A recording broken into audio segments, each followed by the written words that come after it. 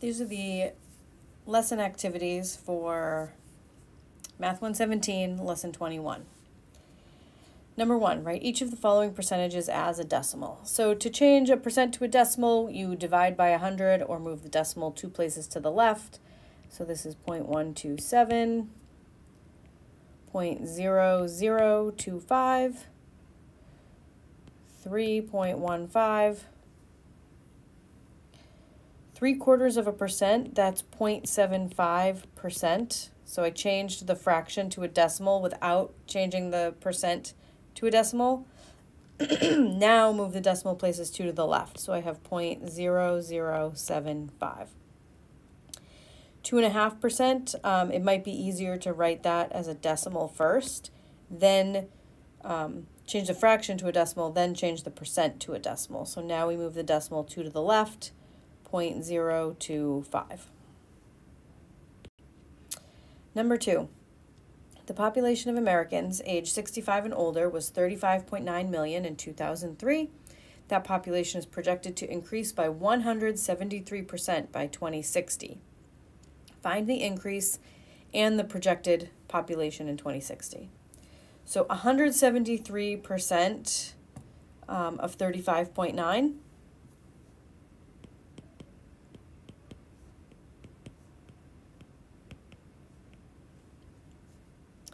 That's the increase amount. That's how much we're going to increase the population by. Okay, so that would be 173% um, as a decimal is 1.73. Multiply by 35.9. And we get 62.107 million increase. Okay, so that's how many more people there will be um, age 65 and older. And then the new population, we have to add the increase amount to the old amount. So we used to have 35.9 pe million people um, in 2003. We're going to add the amount we increased by, 62.107 million people, and we get 98.007 million.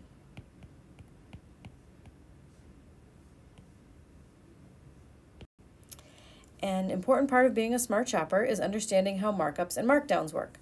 A toy store buys a certain toy from the distributor to sell during the holiday season. The store marks the price of the toy up by 80%. After Christmas, the toys that are left are put on sale for 40% off, and after a while, the few unsold toys go on clearance for an additional 25% off. What is the percent profit loss for the toy store um, at the final sale? Okay, so let's see. Um, let's say the original toy wholesale price is $100. It just makes it easy to start at $100. Okay.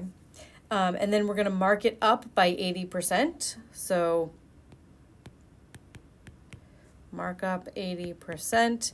So my new um, price is going to be $180. So you take 80% of 100 and add it on.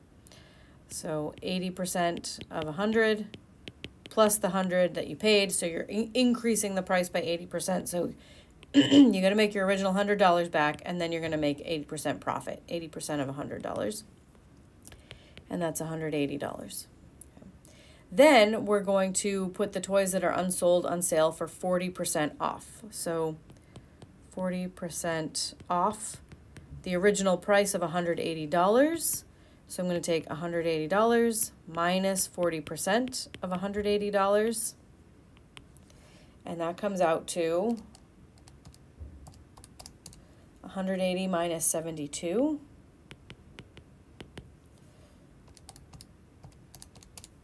which is $108. So even at 40% off, the store is still making a profit of $8 because they paid $100. Okay, if they sold it at, at its original price, they'd make $80. When they sell it for 40% off, they make $8. But now we're going to go to clearance for an additional 25% off. So we take the $108 and we're going to take another 25% off. So minus 25% of 108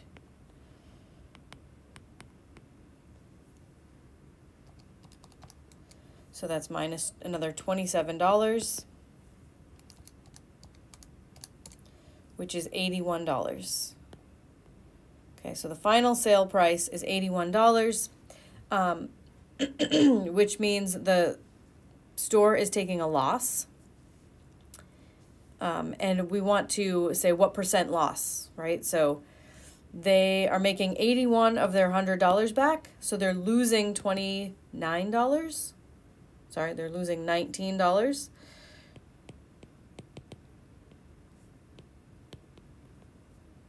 Um, of the original 100 that they spent.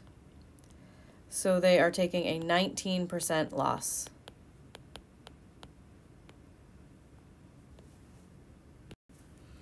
Number four, percent decreases are often used incorrectly, sometimes on purpose, in an effort to exaggerate or mislead. Here's an example. The police chief of Happyville reports that crime decreased by 200% in one year. He came up with this number based on reported crimes decreasing from 450 to 150. What does the police chief think he can get away with? Why does the police chief think he can get away with saying 200% decrease? And what is the real percent decrease? So the percent decrease is certainly not 200% because the most you can decrease something by percentage wise is 100%. If you decrease by 100%, 100% of it is gone. Okay, so a 100% decrease in crime would mean that there is no more crime. You can't decrease more than that. Okay, so it's not a 200% decrease. Um, the actual percent decrease would be um, the change, so 450 minus 150, compared to the original amount, 450. So that would be 300 over 450, and that comes out to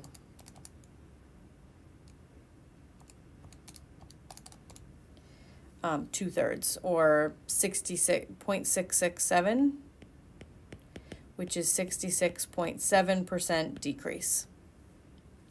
Okay, so that is the true decrease in crime. Um, it's the change in the amount of crimes over the original amount of crimes. Okay, so it's a, about a two-thirds decrease, or 66.7%. What the police chief did is instead of dividing by the original amount of crimes, he divided by the new amount of crimes, 150, and 300 over 150 is 200. Okay. So that is incorrect. Um, he can't get away with saying a 200% decrease. It's actually impossible to have a 200% decrease. Number five, on the day you were born, your parents purchased a $500 savings bond that pays 10% annual simple interest. What is the bond worth on your 22nd birthday? Okay, so this is simple interest. So I'm going to write down the formula. F equals P times 1 plus RT. So we're trying to figure out the future value 22 years from now. So F is what I don't know. Leave it as an F. Present value is $500. It was $500 the day you were born. 1 plus, the interest rate is 10%, so I'm going to put in a 0.1 for R. And then time is going to be 22 years. 22 years from the day you were born. Um, and then we just do this calculation. So start by following the order of operations, we want to do what's inside the parentheses first, right? The order of operation is PEMDAS, parentheses first. Okay, and then inside these parentheses, we have a multiplication and we have an addition. We always do multiplication before addition in the order of operations. So I'm going to do 0.1 times 22, and I get 2.2. And then I'm going to add 1 to that, and I get 3.2. So this is going to be 500 times 3.2, which is $1,600. What is the value of the bond on any given birthday? So instead of putting in a 22, we'll just put in a T.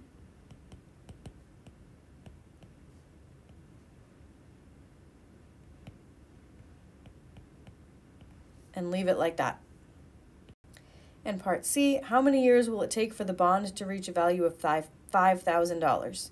So my future value now is going to be 5,000, so I'm going to put that in for F. P is 500 times 1 plus my interest rate of 0.1 t. And now I just need to solve this equation for t. I'm going to start by distributing my 500 to each term in my parentheses. So I have 5,000 equals 500 plus 50t. And then I'm going to subtract 500 from both sides so that I have 4,500 equals 50t. And then divide both sides by 50. So 4,500 divided by 50 is 90. So 90 years.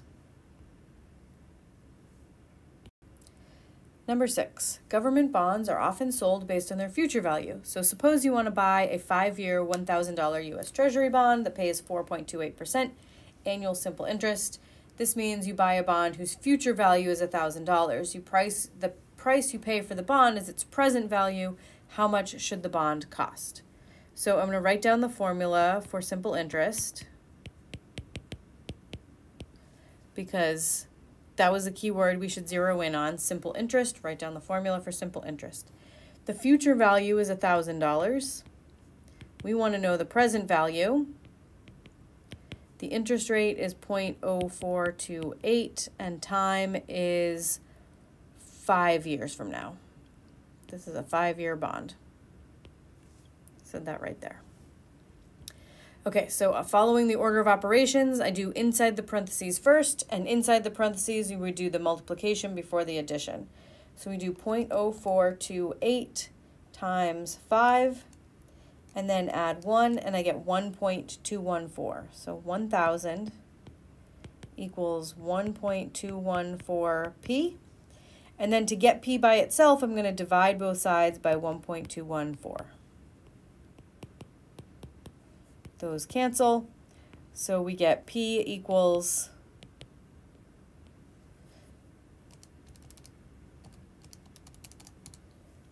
eight hundred twenty-three dollars and seventy-two cents.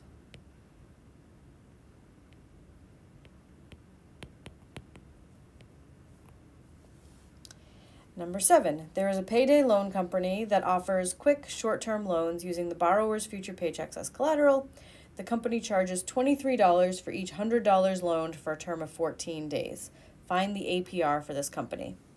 So we're going to use um, simple interest again. Okay, so we have um, my future value is equal to my present value times 1 plus RT. Okay, so my future value, if I take out my $100 loan, my future value, what I owe them is $123. So I'm going to put $123 here. Principal was $100, there are the present value.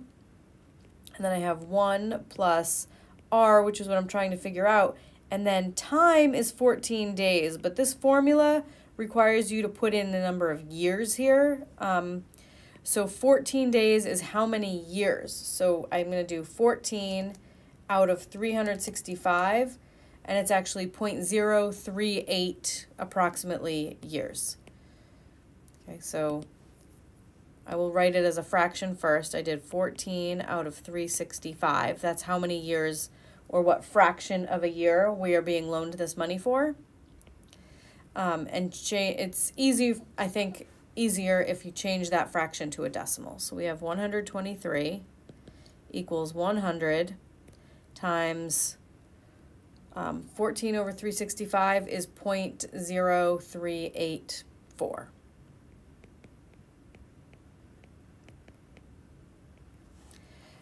Okay, so now to solve for r, I'm going to start by um, dividing both sides by 100.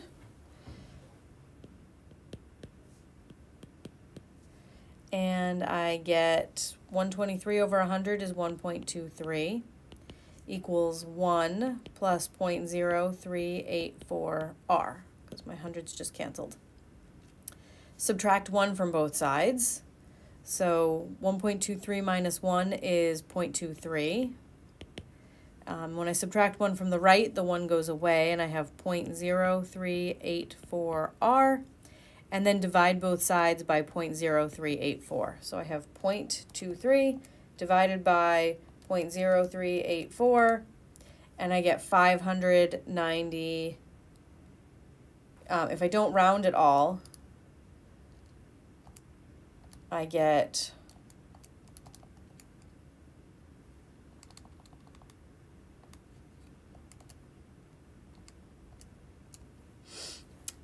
five point nine nine six.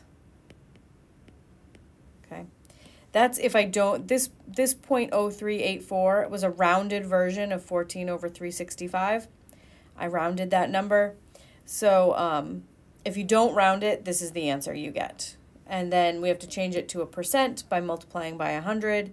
So my interest rate is actually 599.6%. And number eight, as of December 15th, 2015, the US was 18 point trillion in debt. Let's assume the annual interest payment on this debt is 550 billion. We want to estimate the APR for this interest. So APR is just the amount of interest you pay compared to the amount you owe. So I'm going to divide my interest of 550 billion and I'm going to write out all the zeros for billion. So that's a thousand, million, billion. That's 550 billion. And then I want to divide by the amount I owe, which is 18.8 trillion. So this is 18 trillion 800 billion, no millions, no thousands, no hundreds. So let's double check. This is hundreds, thousands, millions, billions, trillions, okay? And then on top I have hundreds, thousands, millions, billions. So the reason I liked to write out all the zeros is that it helps me actually do the division. I can cancel zeros. If you have this any zeros that appear both on the top and the bottom can cancel. And I'm left with 55 over 1,880. And that comes out to um, 0.029, which is the same thing as 2.9% APR.